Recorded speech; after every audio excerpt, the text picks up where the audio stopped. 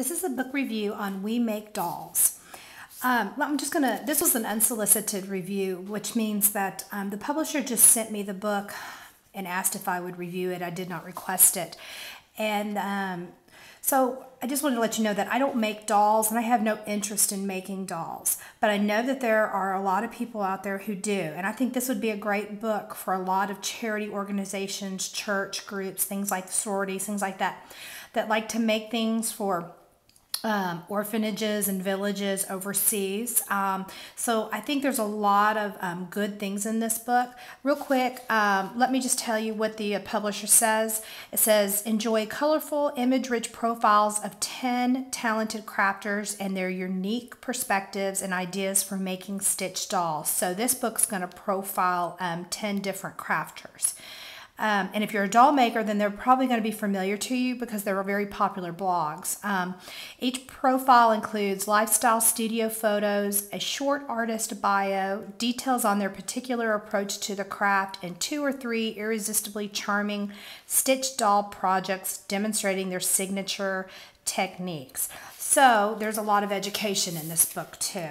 Let me, because um, I always promise you guys a really good flip through and I try to keep these reviews kind of um, short. Here are um, table of contents.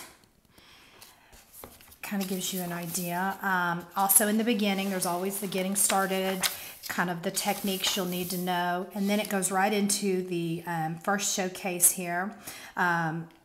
Like Nicole Brinkman has her blog right here. And then it has pictures of what she does, her Etsy shop, things like that. And then here is a um, doll that she makes. It has a what you need, a finished size, a before you begin.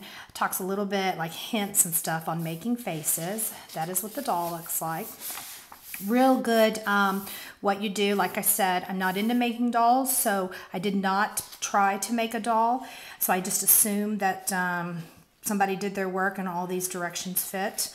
Um, here's some great pictures. I'm always big on pictures. I'm more of a visual learner. And then here, I'm going to start at the back. Here's some patterns.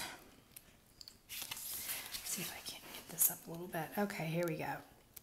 And more patterns here.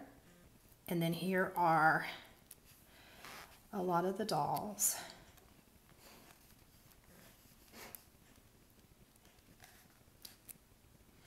Now, you guys who have stuck with me this long on this going to be over three minute review, I have a surprise for you at the end. So hang with me here as I flip through this if you're considering buying this book. Anyway, great pictures. I really like it. Again, I prefer a book that lays flat, um, especially a crafting book. This one is not binded to lay flat, so it is a little difficult, but when you're um, using it to follow instructions, that's a cute little. so here's the book. And because I love you guys so much, publisher actually sent me a second book. And the first person here on Amazon to leave me a comment now, this is only for US. I'm sorry, I'm not going to um, provide shipping outside of the United States. It's too expensive. But the first person to make me a comment, send me a comment, or just comment here on this review, I will send you a free copy of We Make Dolls. Um, the book is provided by the publisher.